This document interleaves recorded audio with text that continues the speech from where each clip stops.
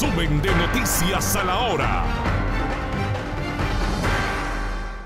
Tormenta de fuego en Honduras. El Ministerio Público, la Agencia Técnica de Investigación Criminal y la Fuerza de Seguridad Interinstitucional Nacional Fusina realizaron este lunes la operación de saturación Tormenta de Fuego en todo el territorio hondureño, con el objetivo de combatir la criminalidad. 44 allanamientos se desarrollan en todo el país, hospitales públicos, alcaldías municipales, el casco histórico de Tegucigalpa, centros educativos, oficinas policiales de Santa Bárbara, barrios y colonias amanecieron sitiados por la fuerza del orden.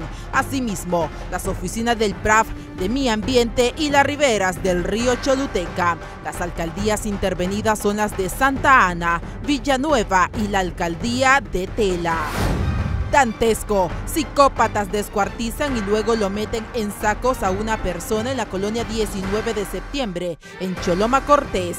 Esto a orilla del Boulevard del Norte. Los vecinos se sorprendieron al encontrar el cadáver del hombre semi encostalado.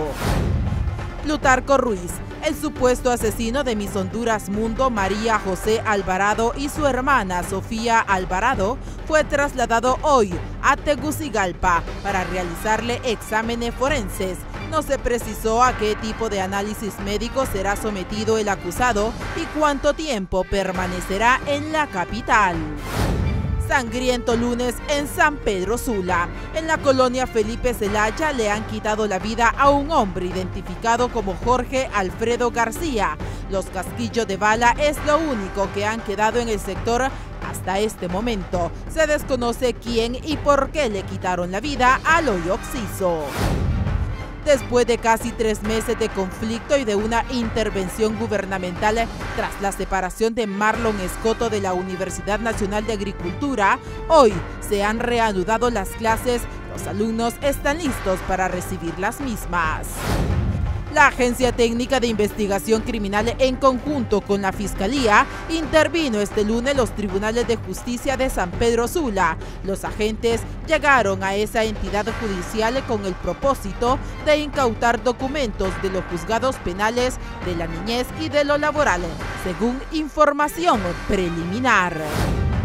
El exalcalde de Lloro, Arnaldo Urbina Soto, llegó a juicio oral y público en la Corte Suprema de Justicia. Él, junto a sus dos hermanos Mario y Miguel Ángel, cabe destacar que el Ministerio Público tiene tarea pendiente, ya que el funcionario podría quedar en libertad tras suspenderse sorpresivamente la audiencia del ex edil. Baja elegante y bien muñequeada. De sorpresa, su sed Antoine Rojas, involucrada en el desfalco del Instituto Hondureño de Seguridad Social, llegó de sorpresa a la Corte Suprema de Justicia. La esbelta mujer tiene una audiencia aún pendiente. Protestas. Estudiantes de la Facultad de Ciencias Médicas levantan su voz de inconformidad por falta de cupos, hacinamiento estudiantil, ya que alrededor de 250 alumnos son de excelencia académica y no han encontrado un cupo disponible para continuar con sus estudios. La Policía Militar del Orden Público desarticuló la banda denominada Los Tacamiches en el sector de la colonia Lomas del Carmen en San Pedro Sula, donde unas 14 viviendas han sido allanadas por las autoridades policiales, encontrando armas, drogas y dejando a varias personas detenidas. El Ministerio Público, en el marco de la Operación Tormenta de Fuego, la Fiscalía de Etnias y la Agencia Técnica de Investigación Criminal secuestran documentos en mi ambiente. Decomisan también y secuestran documentos referentes a posibles irregularidades en el licenciamiento ambiental en el proyecto hidroeléctrico como Santa Lucía de Quimistán, Santa Bárbara.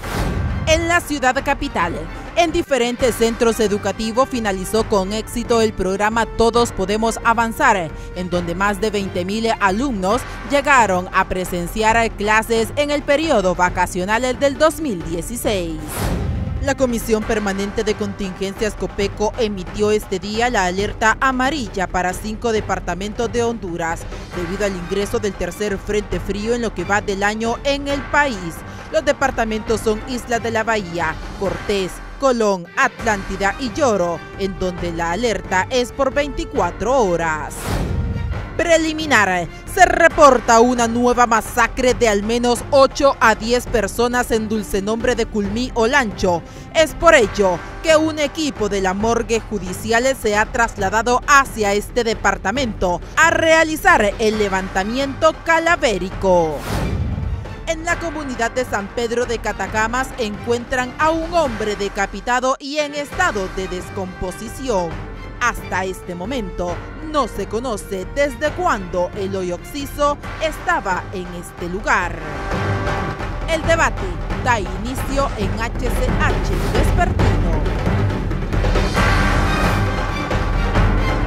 Resumen de Noticias a la Hora.